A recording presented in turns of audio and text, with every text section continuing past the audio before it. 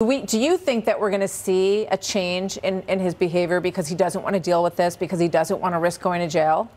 I don't know. I think that I think that the listen, the president is is trying to speak for himself and is frustrated because the gag order. I would have you remind, remind the American people is not just for the president. It was for the president and anybody in his control, campaign, anybody else. How how are you supposed to operate? He can't go on the campaign trail, and he's operating at the highest level you've ever seen. Look at the poll numbers. They keep trying to stop him. He'll find ways to fight back, but quite honestly, what I'm seeing is so inappropriate, so unfair and so one sided.